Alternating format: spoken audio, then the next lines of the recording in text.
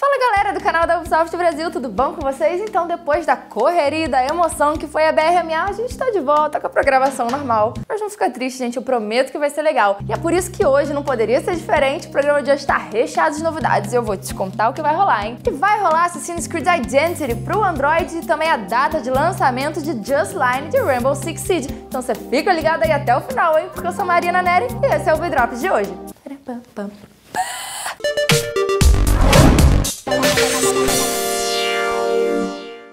Desde que Assassin's Creed Identity foi lançado para iOS, toda vez que eu comentava aqui no programa sobre o jogo, tinha um comentário. Mas Mari, quando é que vai ter para Android? E a espera finalmente terminou, já que a Ubisoft acabou de anunciar que o jogo vai chegar aí para Android no dia 18 de maio. Sabe do que se trata, eu vou te dar uma informada. É um jogo na plataforma mobile que se passa na Renascença italiana e traz várias nuances da jogabilidade nos consoles para os dispositivos mobile. E para você que tem um iPad, um iPod, um i alguma coisa e ainda não baixou, galera, tá perdendo tempo, tem que baixar. Eu vou deixar até o link aqui da iTunes.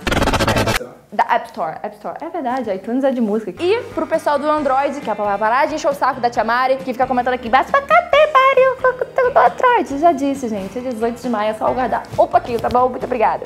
E no primeiro Drops que a gente gravou diretamente da BRMA, é porque primeiro teve, tiveram dois, um foi sexta e um foi ao ar no domingo, então eu tô falando do primeiro. Eu comentei pra vocês que a expansão Dustline tava chegando pro Rainbow Six Siege, não é isso mesmo? E agora a Ubi acabou de anunciar, finalmente, graças a Deus, a data de lançamento, gente. Você agora coloca no seu celular como lembrete dia 11 de maio.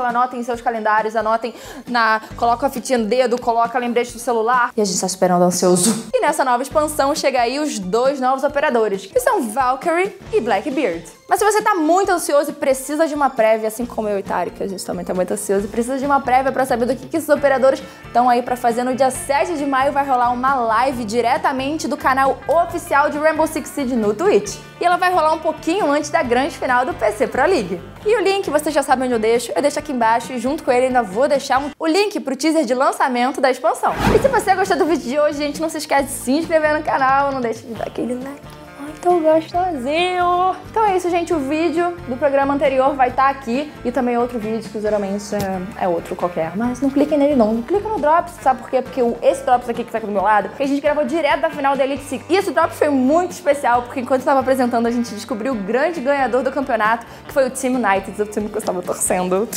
Não posso falar, falei. Me sigam também a Ubisoft nas redes sociais, vou pedir pro editor também deixar as redes sociais aqui da Ubisoft aqui embaixo. Me sigam também nas redes sociais, arroba Marina NRF. Então é isso, gente. Um beijo e até semana que vem.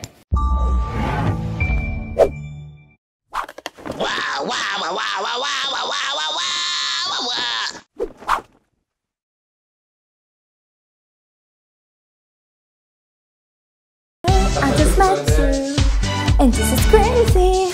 But here's my number.